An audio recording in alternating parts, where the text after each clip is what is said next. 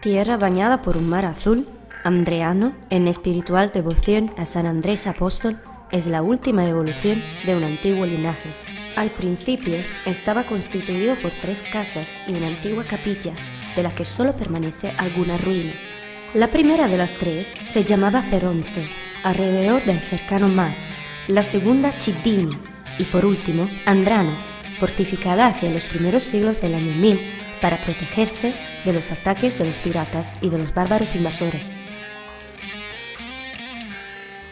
Cuatro imponentes cinturones de baluarte con las mismas puertas están puestos en el centro de Andriano, dividida en dos partes por Vía di Mezzo, hoy Vía Roma. En el centro del pueblo serpentean callecitas pequeñas y agradables, iluminadas por la tarde por la luz tenue de los botes y llenas de vida a lo largo del día